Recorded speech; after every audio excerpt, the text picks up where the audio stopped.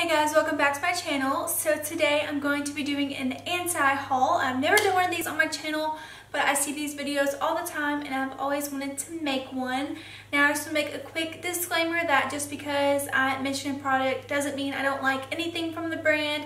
It's just that specific product maybe didn't interest me or I don't think it's to work well with my skin or for whatever reason. I just want to share with you guys some things that I will not be purchasing and these will be like new releases and things that have been pretty popular on Instagram and I get all of my information from Trendmood at on Instagram. I'll have her link down below.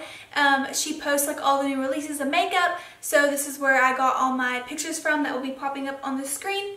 So if you guys would like to stay in the know, then make sure that you follow her. But yeah, let's just get into this anti-haul. Okay, so I'm going to be looking down at my phone at this video just because I have pictures of everything that I will not be purchasing. So let's just start from the beginning. So the first thing that I will not be purchasing is from Too Faced and it is the Chocolate Gold Palette. Now, I don't have any eyeshadows from Too Faced. I don't think I don't have the regular chocolate bar either. But I just, I've never heard like great things about their eyeshadow and then the way they have their palette set up. None of them have ever really excited me. So I'm just going to pass on this one as well as the Clover palette. Um, this palette to me just, you know, it's pretty colorful, but just everything they have mixed together to me doesn't really go together and I just, I'm going to pass on that palette as well. And then the last palette from Too Faced I will not be purchasing is the white chocolate bar. This palette is very pastel and it's just they don't, they're not colors that I would use. The next thing that I will not be purchasing is the new KKW Beauty highlighters. Now she came out with five loose highlighters it looks like. Um, no one I've seen have reviewed this yet so I'm just basing this on uh, from what I see. I just I have like a ton of highlighters and I don't really need any more. Maybe if I was still building my kit I would um, try them out but I'm sure it's going to have a high price tag and I'm just not really impressed. I just think I'm going to pass on it.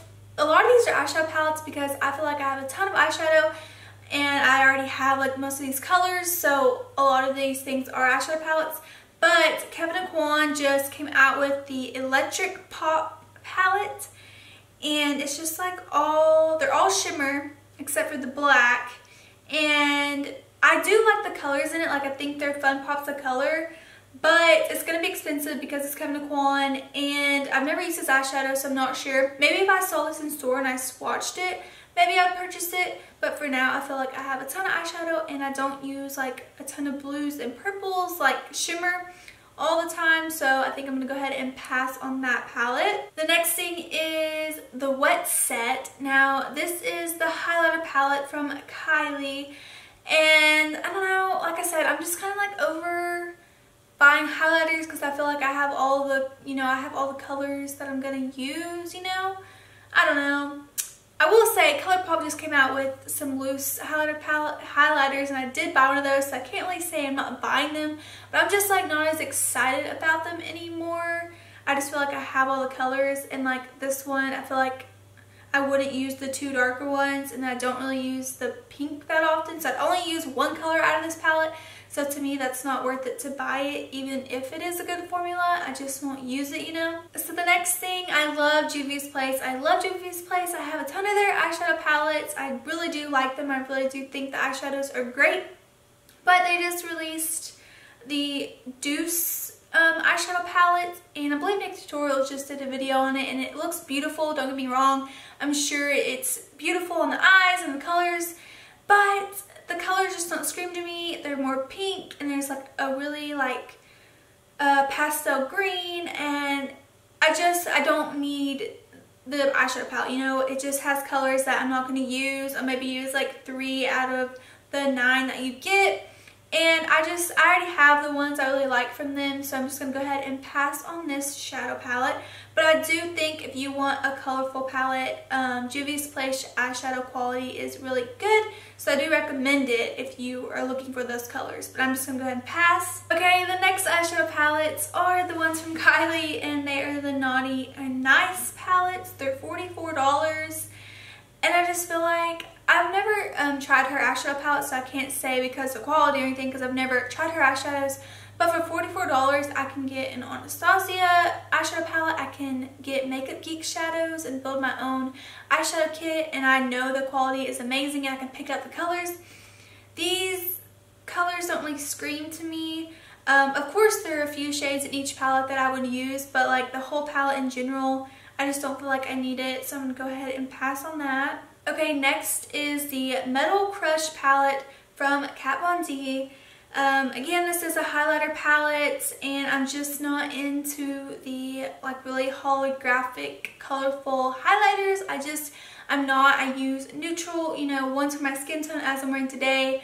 Um, you know, more golden, champagne, more like a pearl, you know. I don't use like blue, purple, pink highlighters. I think it's fun for like a creative look or something more editorial but on a day-to-day -day basis I'm not going to use a pink highlighter so for me it's just there's no point for me to get it since I do do more beauty makeup and not so much editorial so I'm just going to go ahead and pass on that. I'm sure it's beautiful. It looks like it swatches really amazing. But again, just the color selection isn't for me. The next palette is from Urban Decay and it is the Distortion palette.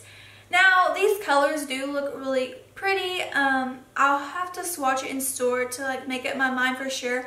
I just don't think I need it because again, I just recently bought a ton of eyeshadow palettes. Like I have so many eyeshadow palettes that I haven't even used yet. Like it's bad, you know. I need to start using the ones I have.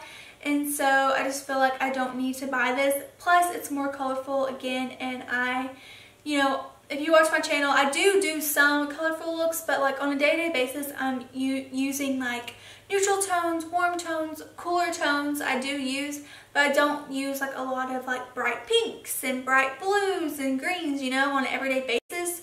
So for that reason, I just feel like there's no point for me purchasing this. The next eyeshadows I will not be purchasing are the Smashbox um, Trios, but these palettes just don't scream to me. I think if you're a beginner and you don't want to have to layer on like four different colors, then I would say go for this because they have several different color combinations and there are some color combinations that are beautiful. And I also think this would be great for travel. But just looking at it, I wouldn't think like, oh, this is high-end makeup, you know? But they do have good eyeshadow quality. Um, but for me, it's just not very practical since I have a ton of palettes with these colors that I use anyways. So I just think I'm going to pass on that. The next new release is the new Urban Decay Concealer. And I'm sure a ton of people are going to rave about this. Um, but I never tried the foundation because I'm not into the really, really full coverage matte foundations. They just never look good on my dry skin. And considering this has the same packaging as that um, foundation, I do not think I'm going to like it because I feel like it's going to be really drying on my dry skin. So I'm just going to go ahead and pass on that. I can already tell that it's going to be that way. Okay, the next thing is the Lime Crime Diamond Dew Lid Toppers. So these are like loose pigments, it kind of looks like. I don't know if y'all have heard about Lime Crime, but they haven't had the best reputation over the years. They kind of got into a bunch of controversy um, if you don't know what I'm talking about, I'm sure you can type in Google like lime crime controversy. I'm sure people on YouTube have made videos on it if you are really curious, but they just don't have the best reputation. These just don't really scream to me because I don't use loose pigments all that often. I like more of a pressed shadow. Um, but I, it's really about the ethics and I just don't think I want to support their company. Um, but again, if you want to research that for yourself, you can. Okay, the next thing is the Tarte Toasted palette. Now, I love this palette. I would totally use this palette and all the colors are definitely up my alley. So maybe if someone gave it to me as a gift, like obviously I would use it. But for me, buying with my own money, it's $46 and I have all those colors. Like I have a ton of warm eyeshadow palettes. I really don't need another warm eyeshadow palette. Um, but you know, if someone was to give it to me for a gift, I would be so happy.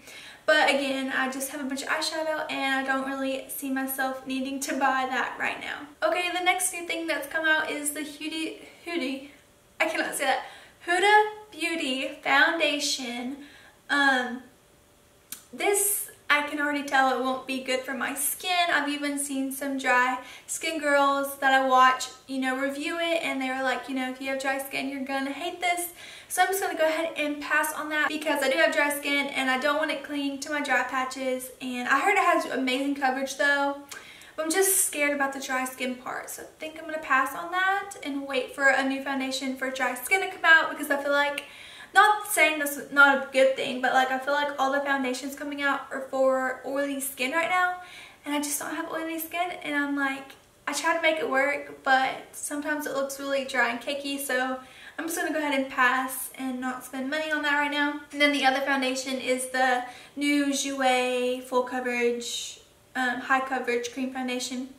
Again, this looks like it has amazing coverage. It has good reviews but it's not for dry skin and I'm scared I'm gonna look cakey. So I'm gonna go ahead and pass on that as well. Okay guys, so that was it for my anti-haul.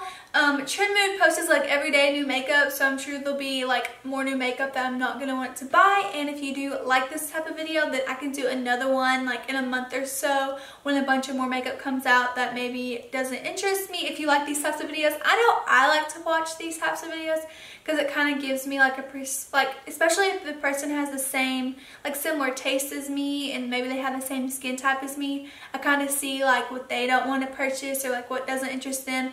I don't know, I think that's just as interesting to watch as a haul video or like things that you want to purchase. But yeah, again, this video is not to bash any brand or products. It's just maybe it didn't interest me for this reason or that reason. So yeah, I really hope you guys enjoyed. Give it a thumbs up if you did. If you have some products that you're not interested in buying or don't think it's going to work out for you, so you just don't want to spend the money on it, please leave those down below just so I can see what you guys aren't interested in or if there's products that you want me to try or you're interested in that you see on the internet going around then leaves those down below too so I can check those out. But yeah, I really hope you guys enjoyed. Please subscribe if you haven't already and I hope to see you guys in my next video. Bye.